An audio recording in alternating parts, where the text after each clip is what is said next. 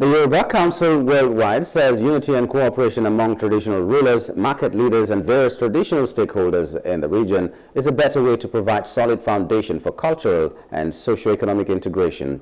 The group said various challenges facing Yoruba heritage and traditional institutions has necessitated the need for policymakers, academia and other critical traditional stakeholders to brainstorm on ways to addressing the hurdles confronting the ancestral legacies.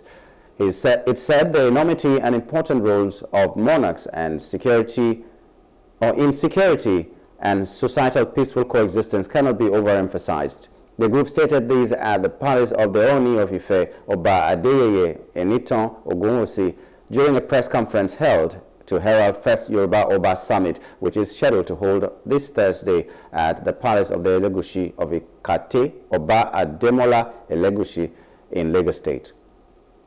The cardinal objectives of this epochal event is to address some challenges facing the Yoruba heritage, to foster unity between the traditional institutions and various stakeholders and leaders of thought in Yoruba land, to provide a solid foundation for socio-economic integration of the Yoruba land.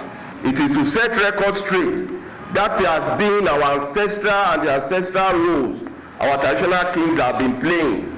They have immunity to correct anomalies in our society in the ancient times. They control our affairs under a monarchical system.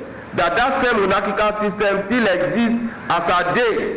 And we just want to reintegrate that and retrain that, that that monarchical system, we want our obas to step forward and begin to take up their responsibility so that the Yoruba land of our heritage will not be dampened. Hello. Hope you enjoyed the news. Please do subscribe to our YouTube channel and don't forget to hit the notification button so you get notified about fresh news updates.